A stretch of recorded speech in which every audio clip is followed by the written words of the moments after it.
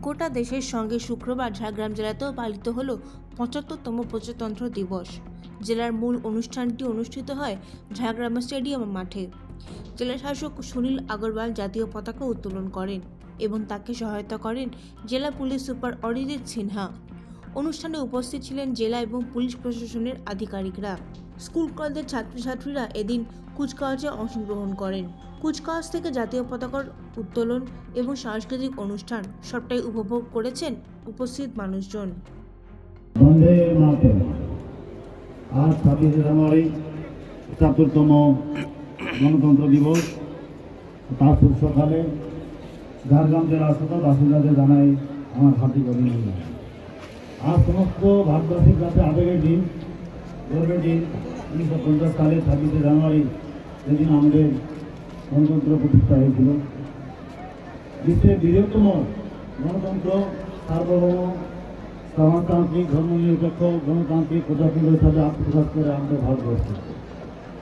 আমরা ভারতীয় নাগরিক হিসাবে সামাজিক, অর্থনৈতিক ও রাজনৈতিক ন্যায় বিচারের স্বীকৃতি অর্জন করি। স্বাধীন চিন্তা, মত প্রকাশ, বিশ্বাস ও ধর্ম পালনের অধিকার অর্জন করি। সম্প্রীতির মন্ত্র দিয়ে দেশকে উন্নয়নের পথে এগিয়ে নিয়ে যেতে আমরা বদ্ধ করেছি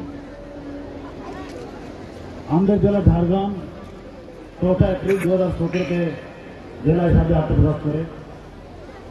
তারপরে প্রশাসনের সমস্ত বিভাগের কর্মোদ্যোগ আন্তরিক প্রচেষ্টায় আমরা ঝাড়গ্রাম জেলার উন্নয়ন গতি এবং চেষ্টা করছি ঝাড়গ্রাম জেলাকে এগিয়ে নিয়ে চলছে এবং তাতে আপনাদের সবার সহযোগিতা আমরা পেয়েছি আগে পাবই আশা রাখি।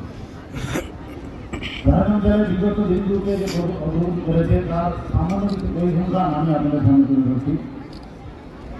এই জেলায় আপনারা জানেন যে বিশেষ করে কত থেকে জাতীয় এবং তথ্যবাদী মুক্ত জেলা এবং সেই হিসাবে আমরা এখানে প্রায় ন হাজার পাঁচশো জনকে শুধুমাত্র এই বছরে আমরা ততদিন জাতিভুক্ত এবং অন্তর্জাতিভুক্ত শিক্ষার্থী ন হাজার একশো নয় জনকে প্রদান ঝাড়গ্রাম থেকে নিরসের প্রতিনিধির রিপোর্ট এএনএম নিউজ